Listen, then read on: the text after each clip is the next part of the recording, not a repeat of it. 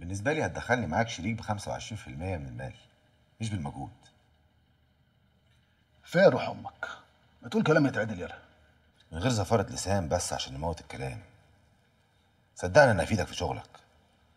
أنت عارف إن أنا شغلي أحسن بكتير من الشغل السيسي اللي بيجيبه لك الواد ياسر. وبالنسبة للسي دي ما تقلقش يا معلم. في الحفظ والصون. طول ما إحنا في شركة واحدة يا عم عمر طب يا شريف باشا يعني إيه اللي في إيدي يضمن لي إن أنت ما تغدرش بيا؟ خصوصا يعني وإن الغدر واضح كده إن هو بيجري في دمك. مصلحتي في شراكتي معاك يا عم عمر. حد يخرب عشه بنفسه. مش هكسب حاجة. ومن الآخر ما عنديش حاجة تانية أقولها لك غير ده ولازم تصدقني.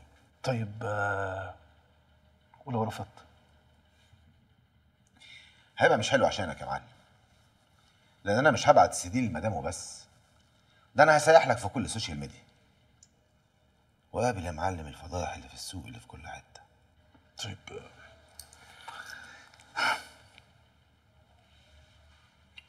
وطلباتك يا مدام؟ نتجوز.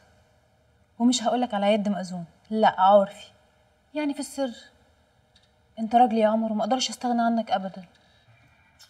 فيك الخير. طمرت فيك العش جوازي منك يا عمر هيضمن لي إن أنا أعيش مستريحة أنا وابننا. آه يا روحي.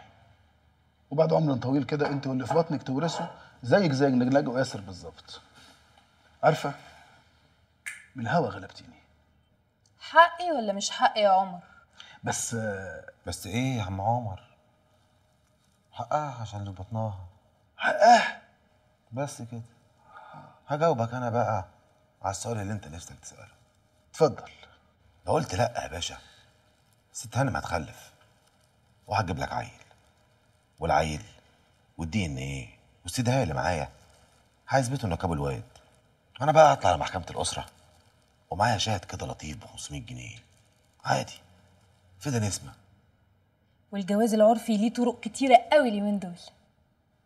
بصراحة قفل الدمنه أنا مبسوط بيكوا قوي.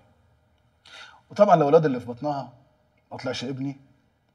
كفاية الفضايح اللي هتحصل لي. هتدمرني وتدمر اللي خلفوني كمان. مش كده؟ بكرة تتأكد يا عمر إن هو ابنك. طيب. انت طبعا معايا إن المواضيع دي صعبة قوي.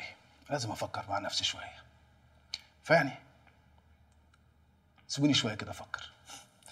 يعني إيه؟ يعني لازم أراجع نفسي. الحاجات والطلبات اللي أنتوا طالبينها دي حاجات صعبة. مش بين يوم وليلة يعني. ماشي. سيب لي يومين كده. لا خد لك أسبوع يا عمر. بس لو تاخرت عن أسبوع ما تزعلش مني يا صاحبي.